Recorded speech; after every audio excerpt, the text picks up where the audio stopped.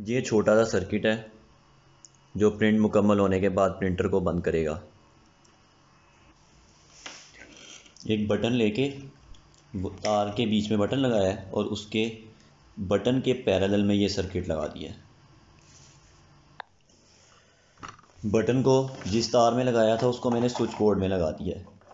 अब अगर कोई ऐसा स्विच बोर्ड हो जिसके बटन के टर्मिनल्स एक्सेसिबल हो यहाँ पे तो उसके पैरेलल में भी ये सर्किट लगाया जा सकता है। इसमें टर्मिनल्स एक्सेसिबल नहीं थे तो इसलिए मैंने पीछे एक एक्स्ट्रा बटन लगा के तो उसके पैरेलल में ये सर्किट लगाया थोड़ी बहुत प्रोटेक्शन के लिए इसके नीचे कवर लगा दिया ताकि नीचे से करंट ना पड़े। अब इसका कनेक्शन मेन बोर्ड के साथ कर देता हूँ। ये एक स्पेयर लिमिट स्विच की आउटपुट में लगा है और इनपुट में लगा है और ये फ़ैन जो हॉट हीट सिंग फ़ैन होता है, वहाँ पे लग गया है।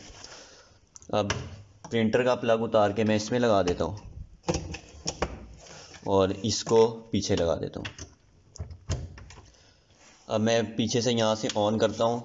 अब इसको ऑन करने के लिए मुझे ये वाला बटन ऑन करना पड़ेगा।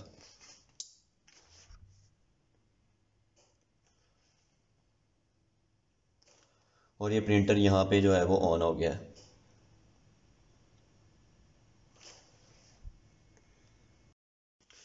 एक दफ़ा जब ये प्रिंटर ऑन हो गया तो ये रिले ऑन हो चुका है।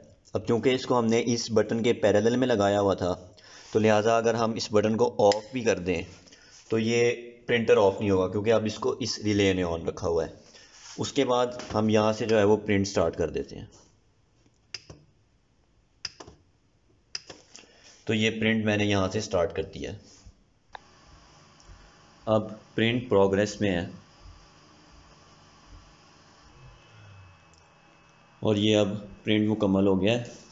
प्रिंट मुकम्मल होने के बाद ये लाइट ब्लिंक करेगी। ये भी मेन बोर्ड के साथ ही कनेक्टेड है। और इसके बाद वो रिले जो है वो ऑफ़ हो गया है। यानी कि पावर सप्लाई को मेंस पावर मिलनी बंद हो गई है। और ये प्रिंटर भी ऑफ़ हो गया अब।